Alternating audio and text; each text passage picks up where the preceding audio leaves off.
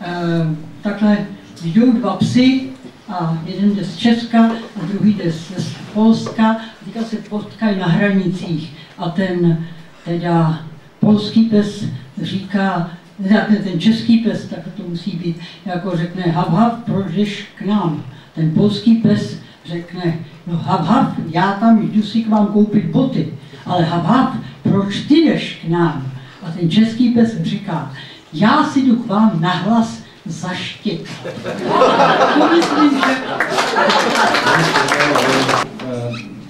Takim, tak, takiej rzeczy, która bardzo często jest pomijana w różnego rodzaju refleksji nad, nad przemianami w Polsce i w Republice Czeskiej, mianowicie e, rola emigracji.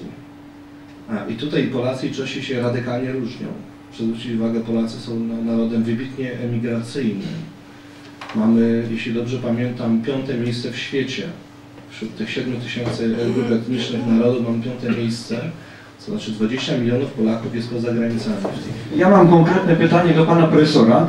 Kiedy pana zdaniem nastąpi w Polsce wybniech społeczny, może nie na skalę Grecji czy Hiszpanii? Dlaczego to pytam? Ponieważ de facto brakuje 6 milionów miejsc pracy. Znaczy, dziękuję za to pytanie. Jak nie mogę się nie zgodzić z panem w tej, tej, tej diagnozie? Znaczy nie zgodzę się tylko z jedną rzeczą. Historia lubi zaskakiwać, to znaczy nie wiemy, co się może wydarzyć, prawda? E, te zwroty radykalne historii w, w Europie w samym XX wieku dobrze znamy, e, co się wydarzyło w ciągu kilku dni, czego nikt się nie spodziewał, więc ja mam taką nadzieję, że taki zwrot również tutaj, se tutaj nastąpi. strašně pořád pod, podceňujeme sebe sami. Když někam, já mám takový ten příklad, třeba Římané versus Řekové, kdysi dávno, že jo, e, tak vlastně řecká kultura byla vyspělá, Řem, Římané sice tam napochodovali v těch svých legiích, ale nakonec před, ta řecká kultura vědoma si svých hodnot, tak přetrvala, ovlivnila tu římskou.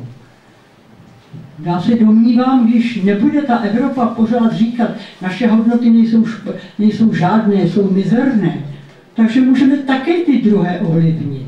Ve středověku to taky bylo. Takže proč bychom to musela přetrvávat jenom jako tedy z hlediska geografického? To snad není to podstatné. Jako kultura se přežít dá. Ale musí, nesmíme pořád o sobě mluvit, jako že jsme ty nejhorší od, prostě na celém světě. Dobrý večer, dobrý večer. Mě by zajímal váš názor, jak mládež, o které jste mluvili ve věku kolem 20 let, podle vás ovlivní politiku v obou zemích. Tak já se domnívám, že ti mladí lidé kolem těch 20 let se totálně jsou politikou znechuceni. Takže přes politiku asi se nebudou nějakým způsobem zvláštně realizovat. Budou hledat jiné svoje směry. Być może to tak wygląda z czeskiej perspektywy. Ja zadaję sobie takie pytanie, e, kto wywołuje rewolucję na świecie? Czy to jest większość, czy to jest mniejszość? Zawsze to jest mniejszość. To jest zawsze tych kilka procent populacji. Dwa, trzy maksymalnie, może pięć, prawda? To są ludzie, którzy robią rewolucję, którzy zmieniają ten świat. I teraz oczywiście zgodzę się z tym, że ta zasadnicza większość e, i w Polsce, i w Republice Czeskiej to są, jak ktoś ostatnio słyszałem na konferencji, to jest taka populacja dwudziestolatków, którzy są zainteresowani głównie życiem erotycznym i sportem. To w zupełności się realizują w tych dwóch sferach. Znaczy, żadna polityka nie jest do niczego potrzebna, prawda? Żadna literatura, żadne dyskusje intelektualne, po co? To w zupełności im wystarcza.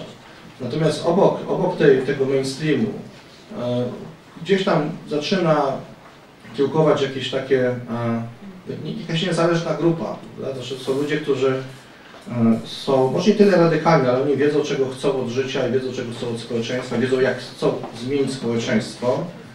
I, i to rzeczywiście to jest, to jest bardzo wąska grupa. To jest, to jest w takiej grupie, jaką ja mam na zajęciach z tych, z tych 100 osób, to jest powiedzmy 5.